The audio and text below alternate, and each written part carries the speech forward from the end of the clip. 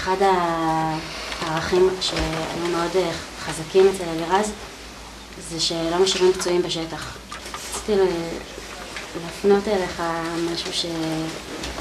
שהוא תחת הערך הזה, שלא משאירים אה, פצועים בשטח, שלמדינת ישראל יש, יש פצוע בשטח 25 שנים, והלב שלנו נקרע. ו, ואם אם יהיה אפשר להחזיר אותו הביתה, זה, זה, זה יהיה סוג של נחמה בשבילנו.